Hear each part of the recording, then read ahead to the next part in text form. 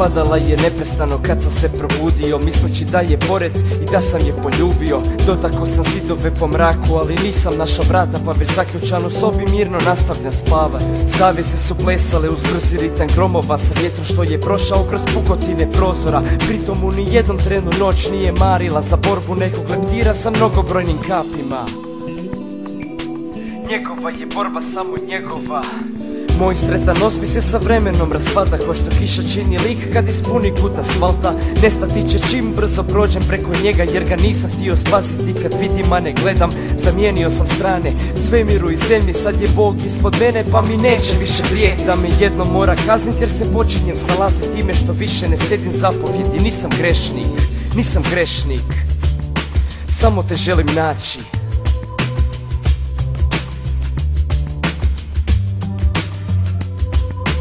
zoru ptice cvrkuću svakom mojem prekršaju prethodnoga dana. I gledam ne ponoviti te stvari, al se vraćam starim navikama. Skoknem do dućana i ne kupim kruh i mlijeko. Sjednem na klupicu, gledajući pored sebe Praveći se da je dukne mene I bacim još jedan osmijeh u prazno. Na to neka ptica brzo poleti sa namjerom da mi ga vrati. Još se nije vratila. Bacio sam više od pukog smješka neće se vratiti. Ako su kazaljke smjernice Bože volje Mislim da nas svako podne zove k sebi gore. Nastojim ne krenuti tim putem Bez obzira na pismo. On je stvoren pričama dok djela čine život.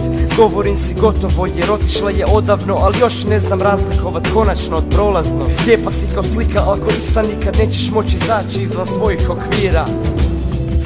I pričat ćeš o nama ali svoje percepcije Gledat ćeš slike i rezat moje lice. Zarobljeno u sebe. Opet mrak večeri, al ovog puta tiha. Ni gromova, ni kiše, pa ni hrabroga leptira Dane saže zvijezdama, de pogledaju nebo Shvati koliko si malena i povuci taj jego Kad ostaneš bez svega, samo nadaš se ostatku Noću misliš o svemu dok si zbunjena po danu. Želiš vidjet zoru bez da se rano dižeš. Puna praznih želja, dospjela si nigdje. Vrijeme je kao sjena, stalno te pretiče Zapinješ na stvarima koje su skroz nebitne I svi su našli ciljeve, ja tražim početke. Ne znam gdje si sada, ali rado bi do tebe Rado bi do tebe, tebe, tebe, tebe Ja ne znam gdje si sada, ali rado bi do tebe.